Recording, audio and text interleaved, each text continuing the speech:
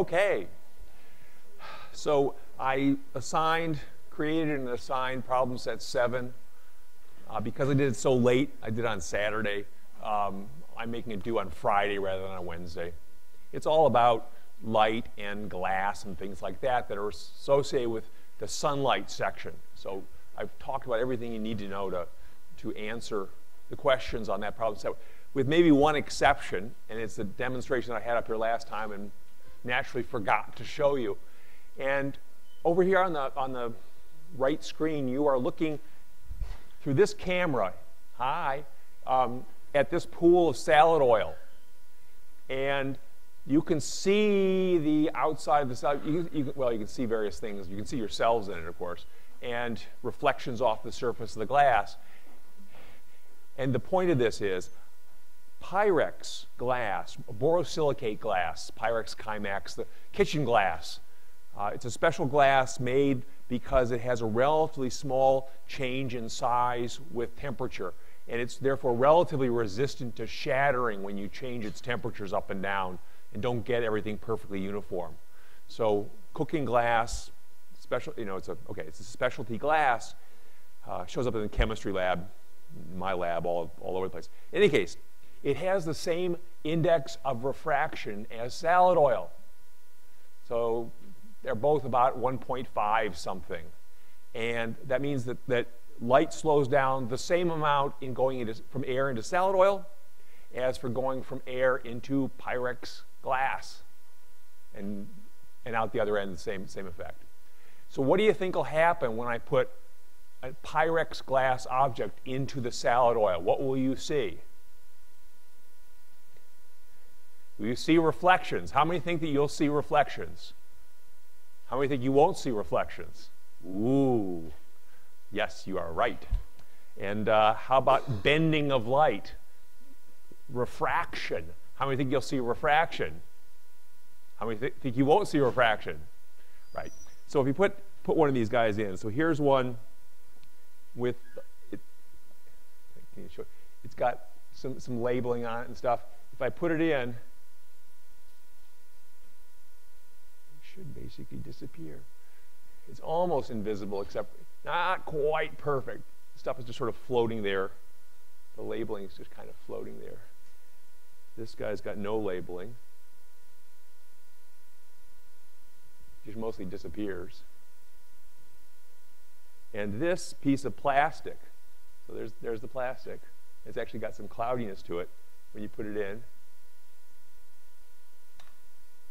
It pretty much disappears too. Okay? So they can use, people use this kind of technique to identify certain gemstones. I mean, I think they use it for that. If you take a gemstone that you know has a certain index of refraction and a fluid that has the same index of refraction, the gemstone should disappear apart from any color that's intrinsic to the gemstone. So you know, a diamond immersed in a fluid with the same index of refraction as diamond assuming it's a colorless diamond, will become invisible in entering that fluid. So you can, so you can test to see whether it's real or not. All right? You understand why that disappeared? Any, we're okay with that? No change in light speed in entering or exiting that, so it basically disappears. All right, I'll come back to normal. All right. So where I left off with with uh, talking about discharge lamps is an introduction to quantum physics. And it's a whole broad territory. It's, it's mostly old physics in the sense that, that we've known about it for 100 years. It's, it's so well developed that it's, people still do study quantum mechanics, but they're relatively rare, and it's and basically it's, it's a tool that most physicists simply use. So what are some of the most important ideas in it? Um, up until the advent of, of, of, quantum physics, people thought the world of, of stuff divided neatly into objects that are really particle-like, like electrons and billiard balls and people, and, and, and, and stuff that was wave-like, like sound and light and uh, other vibration-y things it turned out that that distinction is not as sharp as we thought it was, or people thought it was in the about 1900. it's kind of fuzzy. And it turns out that everything has both wave-like character and particle-like character. And in certain contexts, you see one mostly wave-like, or in certain other contexts, you see mostly particle-like. The general rule of thumb is that when you go looking for something, you tend to draw out its particle-like character. If you go looking for where is a, an electron located, you'll, you'll sort of pin it down to make it a particle-like thing.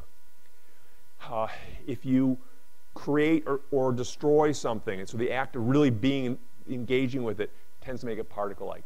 On the other hand, if you just let it move, let's just let it be and go and do its thing, it tends to be more mostly wave-like. So uh, light traveling from the sun to the earth is certainly quite wave-like en, en route, but so is an electron traveling. Uh, part, the solar wind is, consists of a lot of charged particles. They're whizzing from the sun to the earth and, and, and beyond. They're traveling pretty much wave-like as as they cook along and nobody's paying much attention to them.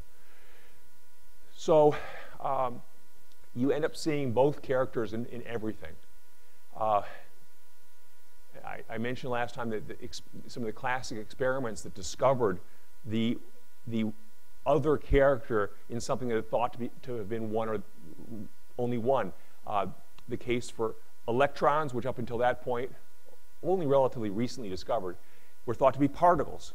But in fact, they have a wave-like character. If you send them off of, uh, you know, through a crystal and allow them to reflect, it's just like you sent them off a, off a soap film. It's related to that. You get interference effects, which are strictly a wave-like, a, a wave phenomena.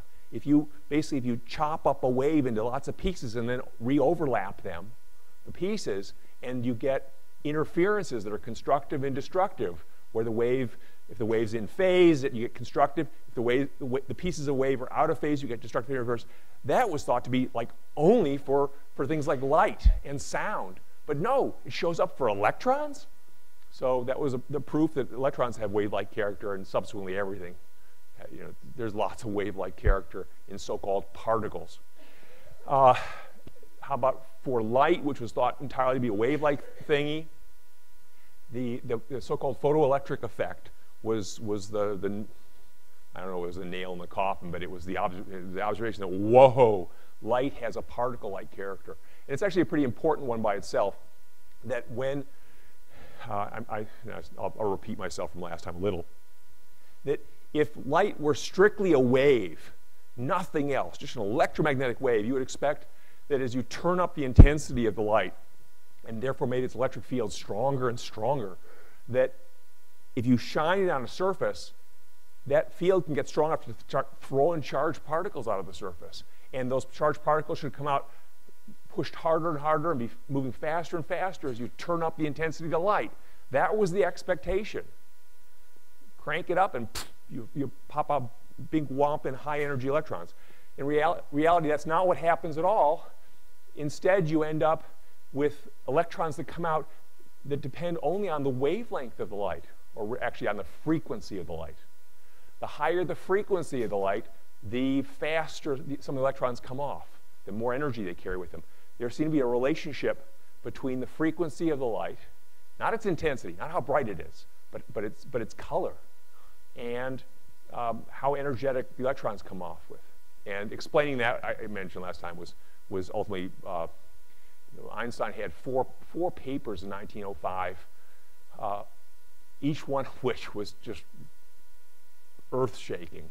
Um, relative, special relativity was one of them. But uh, the photoelectric effect explanation was another, and that's, that's the one he got a Nobel Prize for.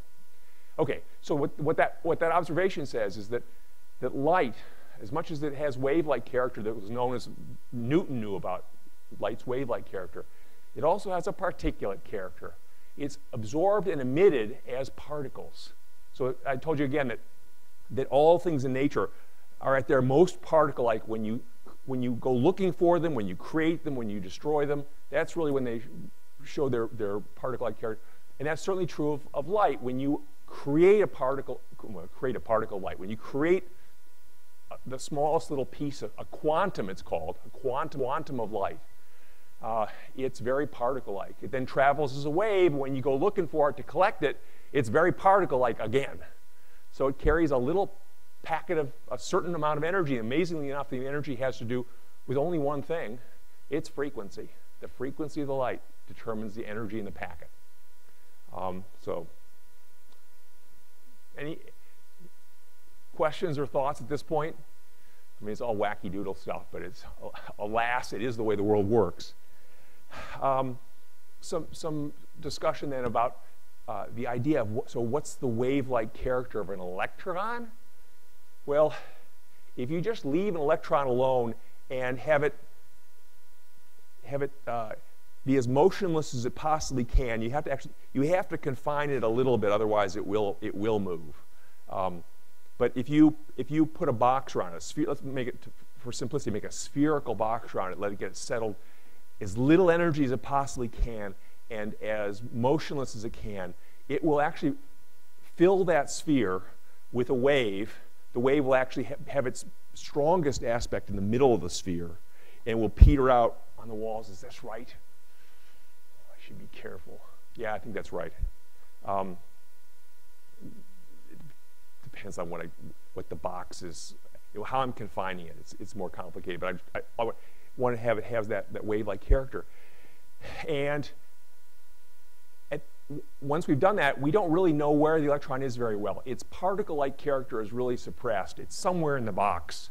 Uh, we have there. You can have statistics about where it is in the box, given that it's, it, if, it, if it's allowed to, to give up as much energy as possible, it will tend to be more towards the center of the box than the edges but you don't know where it is. So the particle like's really, really under, not, not so good. You don't know where, where to look.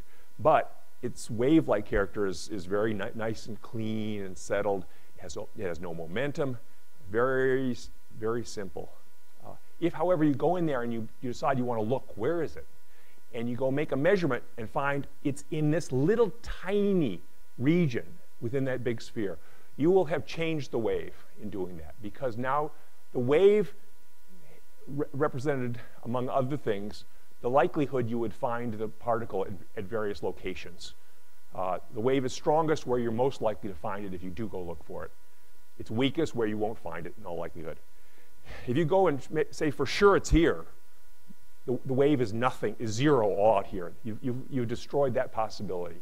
So it, it, it, people talk about collapsing the wave function. You have, you have edited out all of the wave except for the part that's in your little region you went looking for.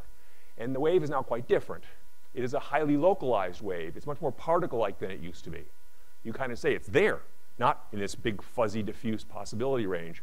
It's there. The consequence of having pinned it down like that, though, so that you know its location relatively well, is you lose control over its momentum. And it's not just that you don't know the momentum well, it's that it's not defined very well anymore the momentum then becomes very, very uncertain. This is the famous uncertainty principle. You, you, there are certain uh, physical quantities that, that uh, form pairs that you can't know simultaneously to arbitrary precision. Like if you know where the particle, where, where the thingy is located super, super well, you can't know its momentum well. That, there's an uncertainty relationship between those two. Uh, if you know an object's energy, you can't know its, its place in time very well either. Uh, those are, those are uh, how can I give you an example of that? Uh, nothing comes off. Uh, I, I, can't give you a simple example off the top of my head on that one. But, but pin, anyway, returning to this, you pin it down in space, you lose control of its momentum. You go and very accurately determine how the momentum of the electron, you go and watch the wave go by. The, the characteristics of the wave determine how, what, what its momentum is. And if you go and very carefully measure its momentum, you, you measure for a long period of, of, of time and space, and you lose track of where the particle is over, except to, to very rough, you know, somewhere in this room. I know its momentum really well, but I have no idea really where it's located. You, you can't get both at once, and it's not a matter just of not being able to make the measurement. It's that, that nature doesn't define some things the way we used to think it did where you could simultaneously have something where you knew exactly where it was and you knew exactly what momentum it had. That classical physics notion just isn't quite correct. And the, the failure of the, of, the, of the pair to have a well-defined value uh, becomes more noticeable as things get smaller. As you're dealing with, with, with tinier masses, Um, it's, it's, pretty, it's pretty hard to see in, in our ordinary everyday world. We're too big. The masses are too big. You could have a well-defined position and a well-defined momentum to within the limits of quantum mechanics, and no one would notice that there's a sort of a, a slight fuzziness to both of those values. Because it's a fuzziness, you know, for an electron, it might be, it might be a, a fuzziness of a factor of two. For a person, it might be a fuzziness by a factor of a thousand thousandths of a thousandth of a thousandth of a thousandth. Tiny, tiny overall uncertainty. All right, so everything's got a wave-like character, particle-like character. You tend to see the wave-like when things are traveling or left alone. You tend to see the particle-like when you go looking at stuff. Uh, anything else? Anything that, that, that, that you wonder around, wonder about? that I can try to. All right, well, so about the wave-like character of an electron and an atom, to try to lead into this, and this is my, my drawing I was hand waving about last time, let me, let me try again. If you have a guitar string or violin string and you pluck it, it's, it is a one-dimensional object from left to right, and it carries a wave on it. It's a standing wave. That is a wave that doesn't actually go anywhere. It stays trapped between these two ends. It's a wave that dances there in place, and the waving, the wave character to it takes place into a second dimension just so you can sort of see it.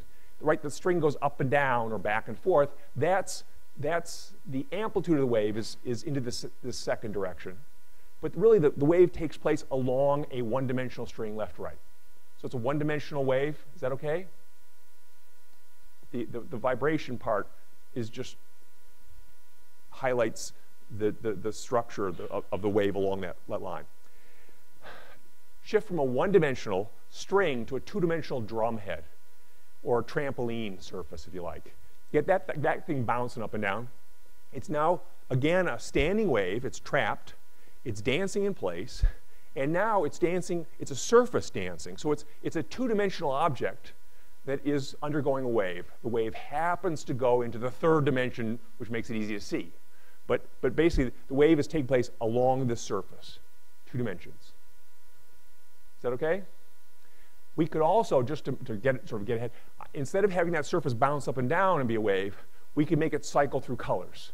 It would now be a flat surface that isn't moving up and down, but it's just cycling through colors in a, in a rhythmic manner. And you would also say it's, it's got a wave going on in it. We're not using the third dimension anymore. Just this is me experimenting with a new way of thinking about this. Okay, so it's a two-dimensional wave with the waving going on strictly as colors. Well, how about a three-dimensional wave? This is the problem. If I have a three-dimensional wave going from a string to a surface, the next thing I got to go to is like a three-dimensional object that's got a wave on it, it's not going to be waving into the fourth dimension. We're out of dimensions. So we can't, we got nowhere to go. We have to use the color idea or something like it. It is undergoing a wave behavior, but it's not another motion into a, a yet another dimension. It's, I've, I've illustrated just as, as, as, a cycling through colors. So if you've got this three-dimensional wave, which might be a sort of a ball-shaped structure here, and the various parts of it are going through, are cycling through the colors, that's the wave process. It's trapped for some reason. In the case of an electron around an atom, the electron's pretty much trapped not by confinement from the outside, but attraction from the inside. It's got a positively charged nucleus there saying, you know, stick around, guy. Opposites attract. So the electron lives around that nucleus. It's got a structure, this wave structure around the nucleus, and it's, it's, it's going through its cycles, the cycles of a wave crest, trough, crest, trough, crest, trough, but there might be through color, red, blue, red, blue, red, blue. Is that all right? I mean, it's, it's terribly abstract, but it's, it's what it is. Toe?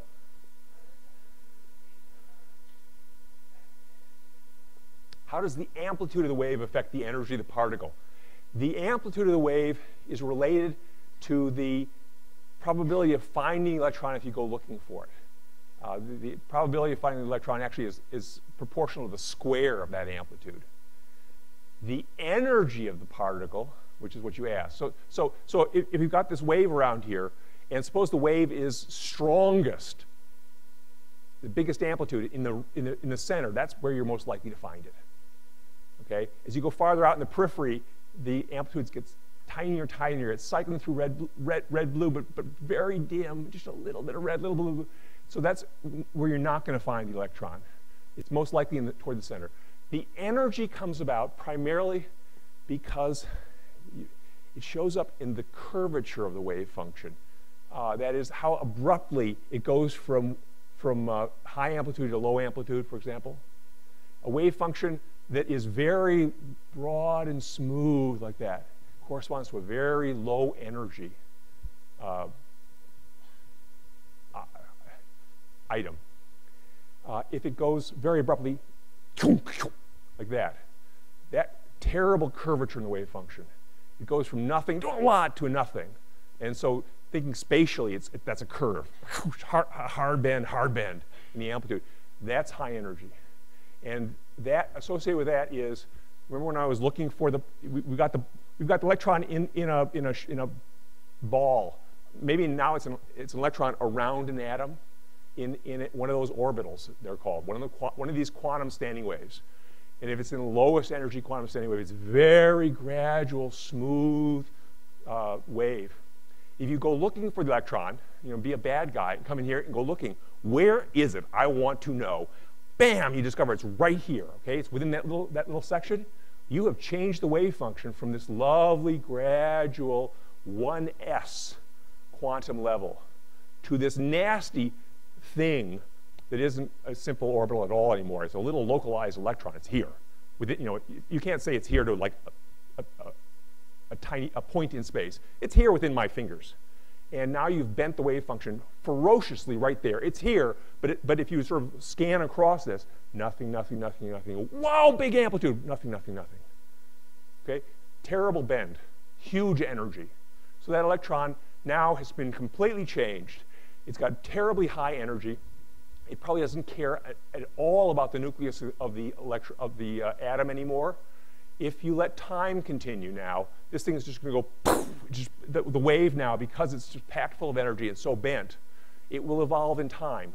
Very differently from the way the, the wave function evolved in time when it was this gradual thing around the nucleus, the 1s. The 1s electron doesn't evolve in time, it's, it stays the same. All it does is change colors in my world of, of, of it just dances in place. This guy, once you've localized it, doesn't dance in place anymore.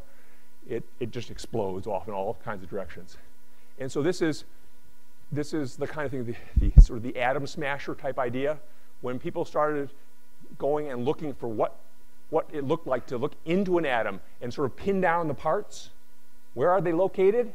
When you do that, you crunch the wave functions down, you collapse them, throw away all the, all the, the stuff outside. You say it's here, and when you've done that, yes, you get a brief instant of, yep, it's here. And the next instant, bam, you, you have smashed the atom. You've torn, up, torn it apart by messing with its, its quantum waves.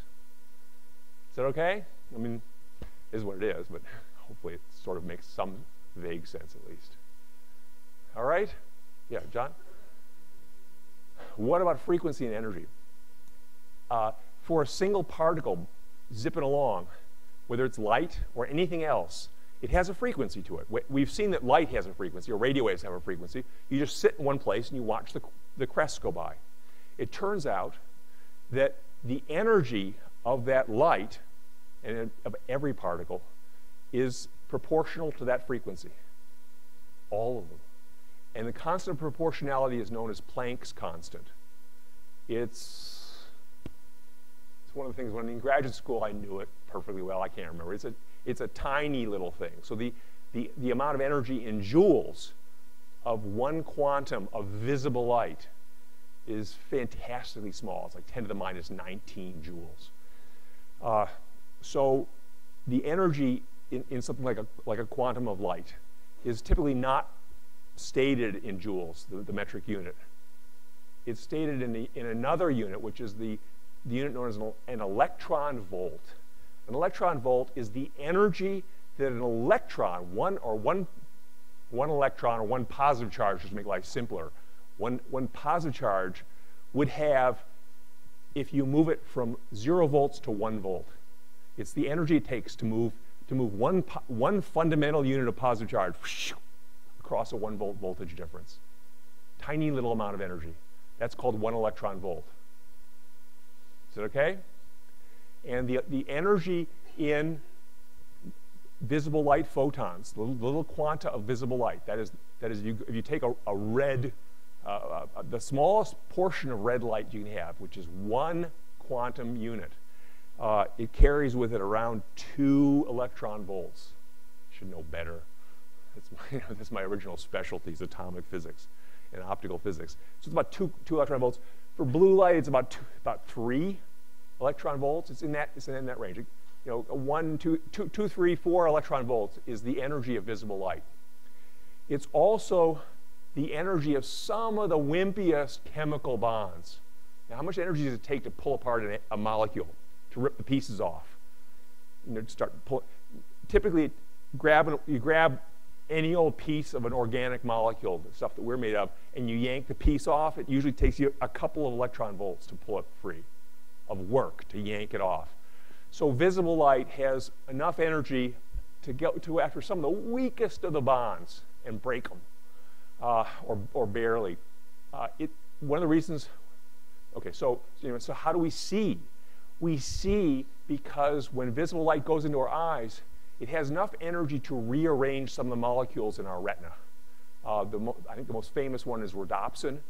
The, when the light is absorbed by a rhodopsin molecule, the rhodopsin molecule changes its, its conformation. It changes shape. It doesn't actually come apart. It just it, it rotates pieces of it, and that triggers nerve impulses. So visible light can just start to tinker with some molecules in us. If you go to higher frequencies, the ultraviolets, now, ultraviolet can carry four, five, six, seven electron volts of energy. That's enough energy to begin breaking chemical bonds and to tear out, uh, tear, in fact, in some cases, to tear an electron completely out of a molecule and throw it away, uh, which is known as ionization. So, so ultraviolet light and its higher energy relatives like X-rays and gamma rays, those, those when, they, when, when they, they travel as waves still, they're still electromagnetic waves, but when they're absorbed or emitted, they involve bigger chunks of energy. Bigger they're called photons. I mean, the official name for this is photons, or, or generically, they're quanta of light. Anyhow, they, they can really rearrange molecules, and that's why exposing yourself to tons of ultraviolet, X-rays, gamma rays is not a great idea. They rearrange the molecules in you uh, in ways that were not, you know, nature didn't really intend, and so they can cause damage you know, chem real chemical damage, and ultimately you, this is part of the origins of some, in some cases of cancers. All right? Eh, so you okay with, with the idea of, of frequency carries with it? Frequency is the hallmark of energy. And probably I've got, a, I've got this somewhere. No, nah, that's not the one I wanted. Eh, it's, it's in there. Eventually we'll get, we'll get to that, that, that relationship, that the energy carried by a a quanta of anything, a quanta of light being the classic example, that, that energy is equal to Planck's constant times the frequency. So the higher the frequency, the more energy it carries. All right? Well, so where do I want to go with this? Uh, in, in any generic atom, when you put an electron in that atom, and it, it, you haven't put too many so that, it's the that you now have a negatively charged thing, the electron wants to stay around the nucleus because it's attracted by the positive charge, and it tends to settle into uh, one of these standing waves, these quantum standing waves, what are called orbitals. They have the peculiarity that the electron is not localized orbiting the nucleus. That would be a high energy arrangement where you've, where you've pinned down the electron. Don't pin down the electron. Let it occupy the standing wave nicely, spread out. That's lower energy, less curvature to the wave function. So they spread out, and the electrons in most atoms are simultaneously all around the atom. They may have some structure in their location, often do, but they're not point objects. They're not little planets. Okay, so um, it, suppose you have a neon atom, and ne uh, I'll, I'll, I'll, get there next graphic. Neon has 10 electrons. Why does it have 10 electrons? Because it's got 10 protons in its nu nucleus. And to become a, an electrically neutral atom, it naturally attracts 10 electrons. Any fewer, and it would still be positively charged and would attract another one. Any, any more electrons, it would become negatively charged and one would leave. Uh, there are, sometimes you can get one extra electron stuck on, on an atom, at least temporarily, but mostly they like to become neutral.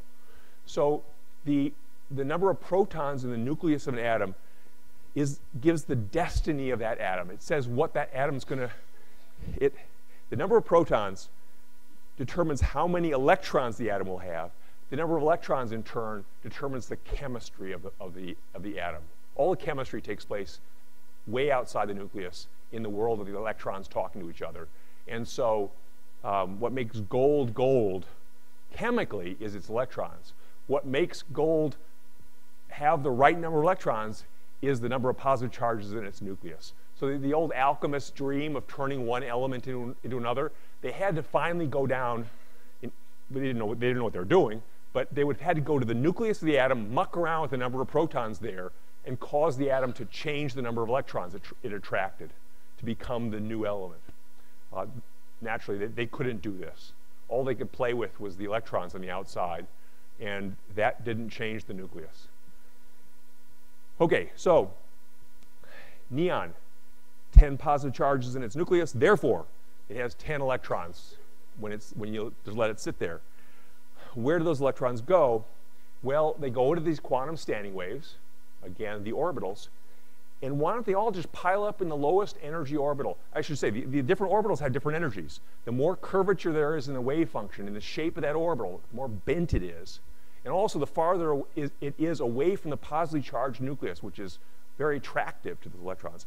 Those two things, more curvature, more distance, means, means higher energy.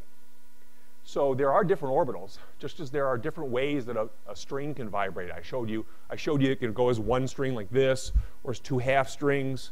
I think I got a little bit of three, three one-third strings going. They have different frequencies, each of those. The same thing is true of our orbitals. There, the lowest energy orbital is the one that's in closest to that positive charge and is the most smooth, broad thing possible. As you go to orbitals that are farther away from the nucleus and have structure in them, for example, they, they, they change, uh, change sign in crossing the midpoint and become two lobes. I showed you, I did show you that.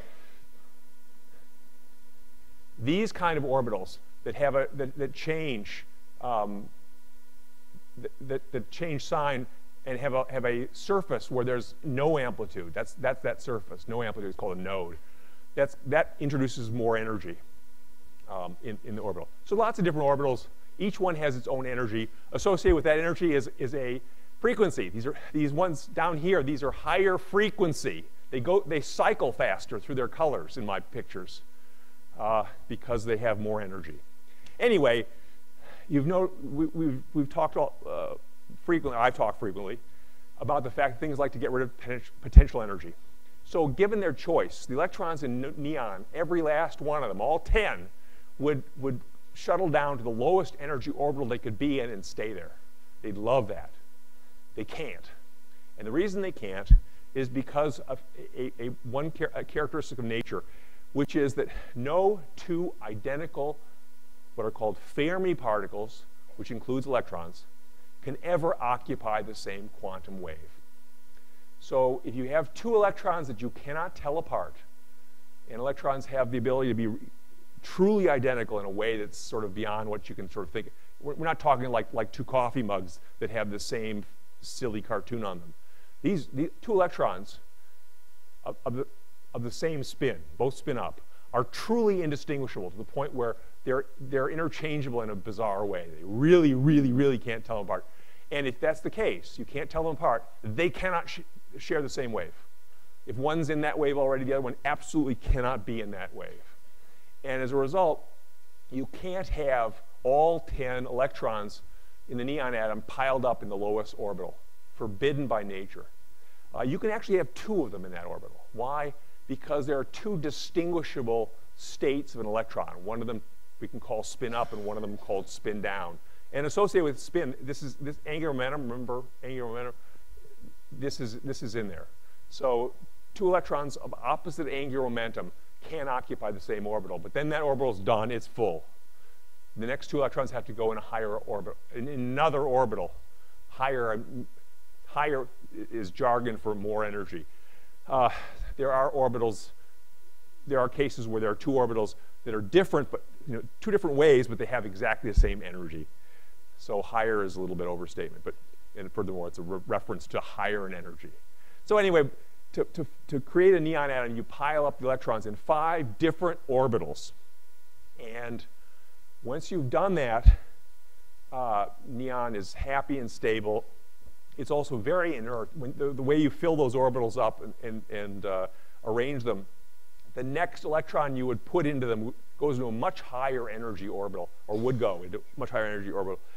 You've kind of finished off a structure that uh, makes the neon atom very content. It doesn't want more electrons. It certainly doesn't want to give up an electron. It doesn't want to have anything to do with anybody anymore. And so it's what's known as a noble gas. Uh, it's relatively chemically unreactive. You, you, know, you basically can't do a thing with it. It just, it just toodles around. You're breathing them all the time now, those little neon atoms. They go in and out, they do nothing. They're boring. Except when you run electricity through them. So they're, now, when we run electricity through a, through a vapor of, of, uh, of neon atoms, we're smacking those little neon atoms with electrons and, and, other charged particles in this discharge. We put a couple of charges in there. We started yanking them up and down with electric fields, and they're now being smacked into each other.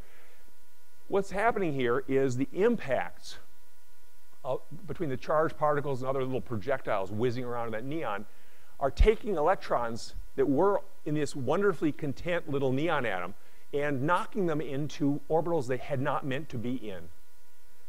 That's an action that takes energy, and it came out of the collision energies of the particles, which originated in the electric fields, and therefore in the power support source here. But once you get one of the electrons in, one, in the neon, uh, in, a neon atom into a high, into an excited orbital, an orbital that it would not normally be in, and, and which it can leave and give up energy in the process. Now it can, it can leave and give up energy in the process. So we've knocked electrons, I, I, should be able to figure out what the orbitals are, but, but I, details don't matter. The electron is temporarily, briefly in one of those excited orbitals. It then, again, trying to give up energy as quickly as it can, it drops back into one of the original orbitals. So it goes from one standing wave created by the impact to back to its original standing wave, or at least one en route to its original standing wave. And in the process, it gives up energy because it, it's going from a, a high energy orbital that is one typically that is farther from the nucleus, uh, and therefore work had to be done to pull it out, and also more curved, so it has more energy associated with that curvature. And goes from that to one that's in closer, less curved, where the energy go, it comes out as light. So we're seeing light come out corresponding to the energy differences between orbitals within the neon atom. And we can look at that light through this camera. This camera is, got to remember which camera it is. Is that it? No. Uh, it's a weird one. That's it. Come on. Yes, it's it. All right you are looking at the neon tube. Woo, see, here's this me. You're looking through a diffraction grating. A, a, that is a bunch of slits that create interference effects. We, are taking the waves, cracking them into pieces, and seeing whether they overlap properly.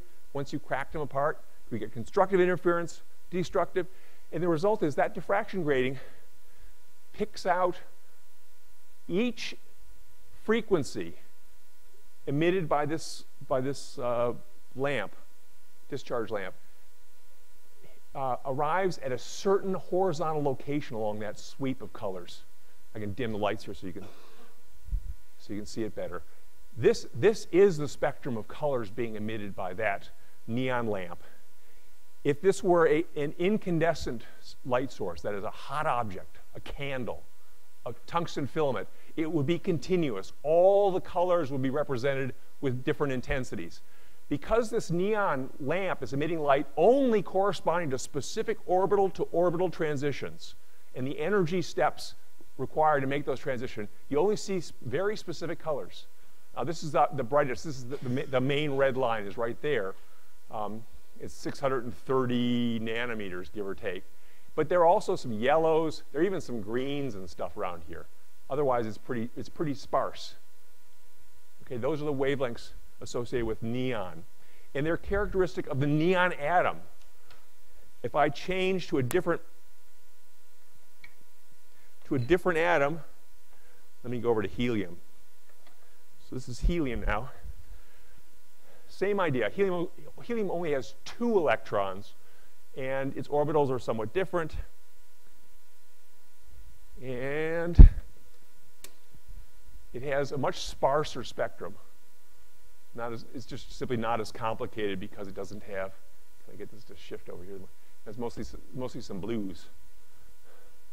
All right? The origin of that spectrum is in the structure of the atom, it's, its particular orbitals, and a little bit in, in, which orbitals get excited by the impacts, and then the, the sequence of, of, steps from excited orbitals down to the to return to where you started from. All right? So, to, to have this happen, we had, you know, the structure of atoms, the, the, the electrons are all in these orbitals, when, at least when, when it's left alone, nobody's playing with it. The electrons are in the orbitals, two electrons per orbital at maximum, and electrons just sit there in their little waves dancing away. Okay. Uh, there's a little bit about the discharge itself, which is not so important for the moment. To get to somewhere. Okay, so this, this, I've got so many lights on now, I can't see myself. Lights. Okay. This is that formula I went looking for earlier, that the energy in a photon, or actually in any quantum excitation, is simply the product of two things. The famous Planck constant, which is maybe new to you, not that famous, and frequency. So in this spectrum that you still see up here from, from uh, helium, we're over here on the left, this is the highest frequency uh, of light coming off that, that helium. Uh, it's got the highest energy per particle, therefore. And then we work our way down, this is somewhere in the blue-green, or it's not, you know, some, some colors. All right. Well, where this goes do this. Let me show you one more spectrum, and then I want to. This, this is Mercury. And Mercury is very sparse. Almost nothing here in the visible. There's one, this one purpley line. It's not very bright. What you can't see is there is a very, very intense line in the ultraviolet. Um, it's out here somewhere on, this, on the screen. You, you won't know it's there. Can I, can I make it visible with, if I hold these guys up there, will, no. It, it, it may not actually get out of the tube. Glass tends to absorb that, that light. It's at 243 nanometers. Uh, I spent way too long accidentally looking at mercury light when I was a graduate student. Cooked my, the lenses in my eyes. Not a good idea. Um, what's the point here? The point is a fluorescent lamp, which I can show you. This is a conventional fluorescent lamp. This is one without that powder on it. Remember I asked you a question last time about, about the powder in a fluorescent lamp. What have you got rid of it? In a normal tube, you get this white glow from the powder on the inside of the tube. In a lamp with no powder, you get that really dim blue. That's the same blue you saw a minute ago on that, uh, up on the screen as the glow from a mercury, lamp, mercury discharge. It's, it's, it's this one, right? Nothing very useful. All right? Why the difference? Well, the powder is doing something very interesting. The powder is taking the ultraviolet light produced by mercury atoms when you smack them. It's not useful by itself. It's, it's, it, we don't see it. It's taking that light and the energy associated with each photon of that light. Absor- the, phos- the phosphor is absorbing that, that pack, those packets of energy, throwing out a little bit of that energy, and using the rest to synthesize a new particle of light, one that's invisible. So this is the process known as fluorescence. And this is an ultraviolet flashlight. right? You can barely see it. Right? It's, it's near ultraviolet. It's, your eyes can just sort of notice it. But when we shine it onto the, this kind of stuff, this fluorescent stuff,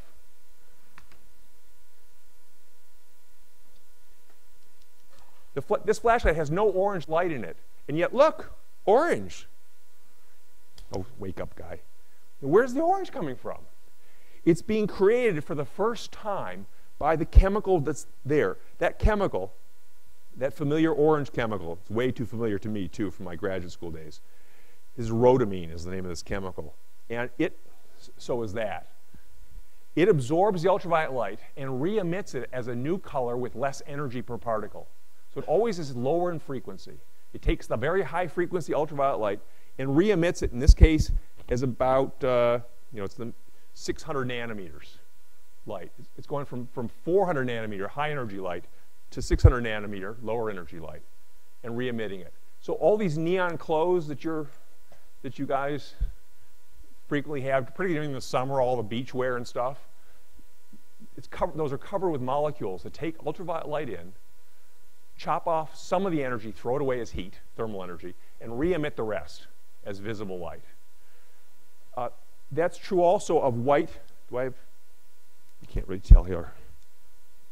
Uh, white clothing, certainly white paper. You know what's that? That blue glow you see there? That's not accidental. They put into paper and into white clothing. They put fluorescent dyes that emit blue, so that when you shine ultraviolet light on the on the stuff, it glows blue, and that makes you, makes it look brighter. Um, the history of this is, is clothing with age, white clothing with age, and, and sheets and stuff turns yellow. You've all noticed this, and you find old, find ancient linens, and they're kind of yellow. They start absorbing blue light, is what happens with, with, with, with age and damage. And by putting this blue fluorescent chemical on it, you know, bleach, borax, and brighteners, brighteners, brighteners of those blue, glow, blue fluorescent materials, they glow blue and they replace the missing blue that's, that's, that shows up because of uh, aging in the, in the fabric. So, um, the, the, the, point of all this stuff, to finish off fluorescent lamps, and so I can go on to something different next time. This fluorescent lamp takes the ultraviolet light that's emitted by a mercury spectrum. So this is a mercury discharge, uh, and it is almost all ultraviolet light. It's useless by itself. But that light hits the phosphor on the inside of the tube, and the phosphor takes that, the photons of ultraviolet light, chops them up, and re-emits them as visible portions of light.